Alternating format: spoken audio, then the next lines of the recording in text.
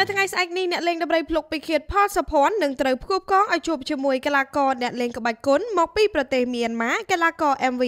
នៅក្នុងការប្រកួតជំនួបមិត្តភាពអន្តរជាតិគុណខ្មែរប្រភេទគីឡូ65 កីឡាករ MV ជាកីឡាករម្ចាស់ខ្សែក្រវ៉ាត់និងជាម្ចាស់មេដាយមាសស៊ីហ្គេមដែលនឹងត្រូវជួបសាក់កណ្ដាប់ដៃជាមួយកីឡាករគុនខ្មែរដំរីភ្លុកពីគិតផលសុភ័ណ្ឌនៅលើសង្វៀន Gainsburg រាជសីគុនខ្មែរដោយនាថ្ងៃប្រហ័សទី8ខែកុម្ភៈឆ្នាំ2024ស្អែកនេះចាប់ពីម៉ោង8យប់តទៅ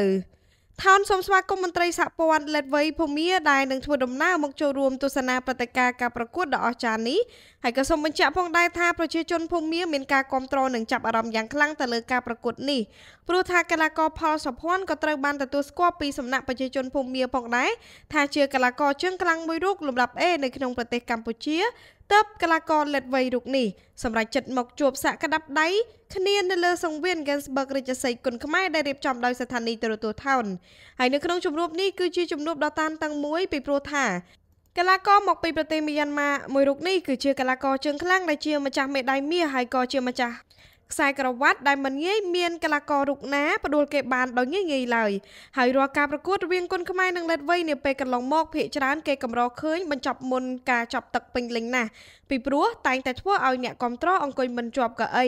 ដោយសារតែភាគច្រើននៃកីឡាករភូមាគឺជាកីឡាករដែលរឹងនិងស្វិត កីឡាករ MV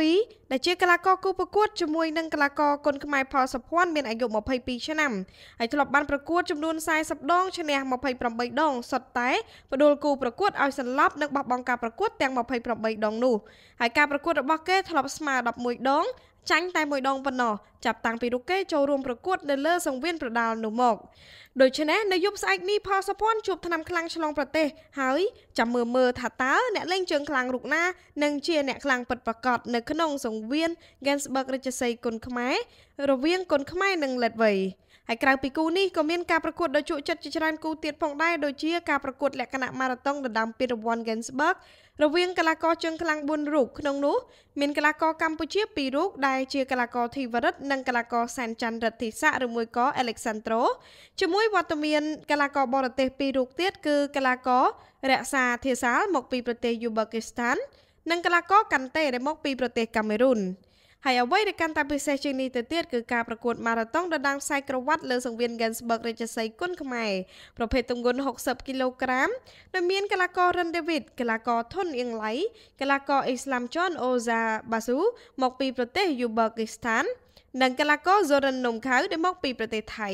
Gensburg ចូលរួមលើកស្ទួយគុនខ្មែរឡើងដល់កម្រិតពិភពលោកហើយព្រឹត្តិការណ៍ការប្រកួតដ៏កក្រើកនឹងប្រព្រឹត្តទៅថ្ងៃទី8កុម្ភៈឆ្នាំ2024នេះកម្មវិធីនឹងចាប់ផ្ដើមពីម៉ោង8យប់តទៅនៅស្ថានីយទូរទស្សន៍ថោនដែលមានទីតាំងស្ថិតនៅសង្កាត់គីឡូម៉ែត្រលេខ6ខណ្ឌរសីកែវរាជធានីភ្នំពេញជាមួយគ្នានេះក៏មានការផ្សាយផ្ទាល់នៅលើកញ្ចក់ទូរទស្សន៍ Town Full HD TV Facebook Page Town Full HD TV និង Bill Gainsburg ផងដែរ